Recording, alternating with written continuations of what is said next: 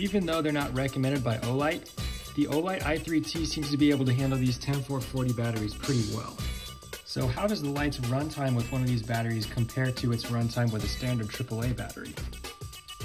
Based on the limited testing I've done, the i3T can run a 10440 on its high setting for about 20 minutes, which is actually very close to the runtime of a standard AAA battery.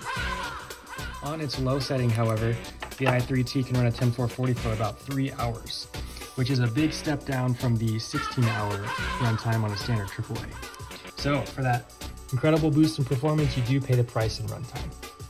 To get better runtimes for the 10440, its capacity would need to be boosted. This PK Cell 10440 has 300 milliamp hour battery capacity. This Demon Fire 10440 claims to be protected and also have 600 milliamp hour capacity plan on testing this in an upcoming video.